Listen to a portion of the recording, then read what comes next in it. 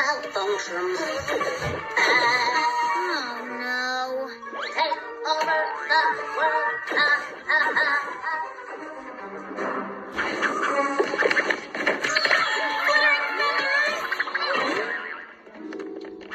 Ah, we need a smarter plan. Something stealthy, even sneaky.